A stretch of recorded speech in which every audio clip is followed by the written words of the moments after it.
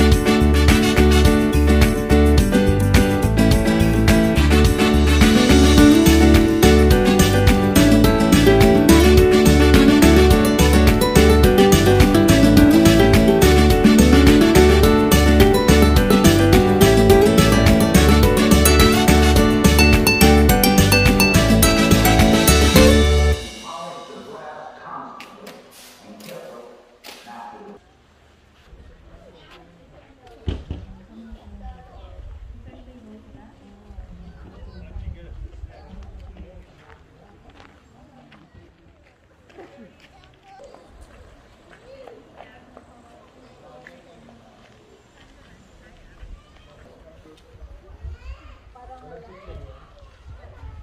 chichirya. Meron akong dalawang